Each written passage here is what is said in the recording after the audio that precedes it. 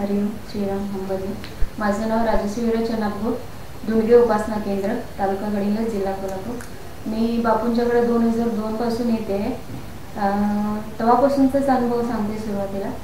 ज्यावेळी बापूंच्याकडे मी कॉलेजला असताना येत होते त्यावेळी बापूंच्याकडे मी ज्यावेळी आधी एक दोन आठवडा झाल्यानंतर मला म्हणजे मी एका बँकेत माझ्या पप्पांच्या बरोबर जात होते. काही पण काम असलं की.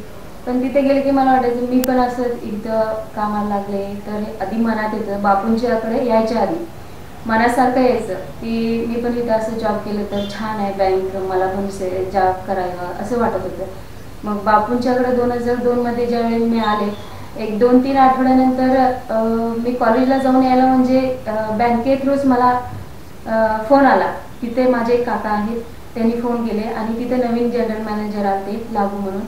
मग त्यांनी म्हटलं त्यांना एक क्लार्क किंवा पी त्यांना पाहिजे आहे. कोण आहे का असं आमच्या काकांना कॉल केले ते मग काका मला कॉल केले. असं असं आणि आता अर्बन बँकेत गडिंग्लज अर्बन बँकेत इंटरव्ह्यू आहेत आणि तू जाऊन येशील काय? मी काही न विचार करता गेले तिथं. गेले त्यांनी इंटरव्ह्यू घेतला. मला इंटरव्ह्यूचा अनुभव पण नव्हता काही नव्हता आणि माझं त्यांना गरज होती मराठी टायपिंगची पण मला इंग्लिश येत होतं. तर त्या साहेबांनी मला विचारलं की तुला जर मी अं, वेळ दिलं तर मराठी टायपिंग तू किती दिवसात शिकशील? तर मी म्हटलं आठ दिवसात शिकते. तर बरं मग तू उद्यापासून जॉईन हो आणि टायपिंगला पण सुरुवात कर. तर लगेच दुसऱ्या दिवसापासून मी अर्बन बँकेत जॉईन झाले. तो माझा पहिला अनुभव बापूंच्याकडे आल्यापासून. जो मनात माझ्या इच्छा होती ते त्याने आल्यानंतर मला पूर्ण केला.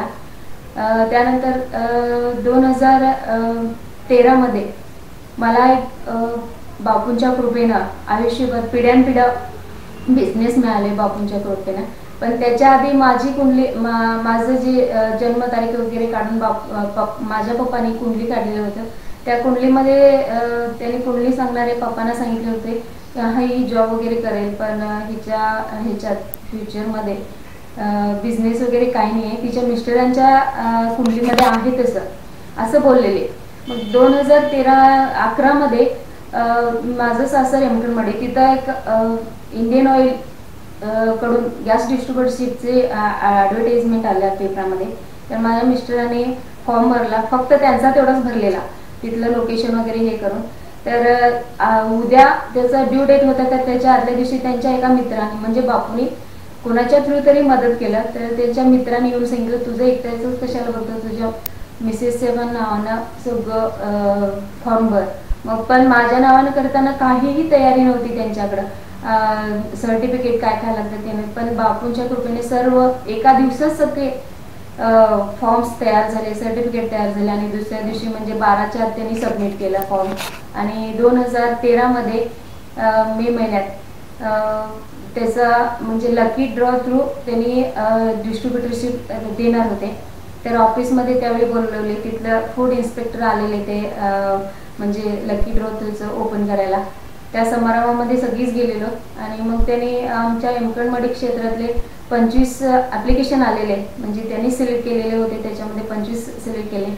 मग त्याने असं काचेच्या पेटी सगळ्यांची नावं टाकून इकडं तिकडं हलवले आणि एक चिठ्ठी उचलली तर ते माझ्या नावानं निघालं. अंबरने प- हे सर की जे नशिबात बापूला द्यायचं आहे. जे भविष्यात किंवा आपल्या कुंडलीमध्ये नाही असं ज्यांनी सांगितलेलं ते बापूने मला घडवून दिलं आणि माझ्या नावानं ते आज डिस्ट्रीब्युटरशिप आहे मी प्रोपरायटर आहे. आणि बापूंच्या कृपेने आता वीस हजार कनेक्शन झालेले आहेत. सर्व बापूंच्या कृपेने ठीक चाललेले आहे अंबर श्री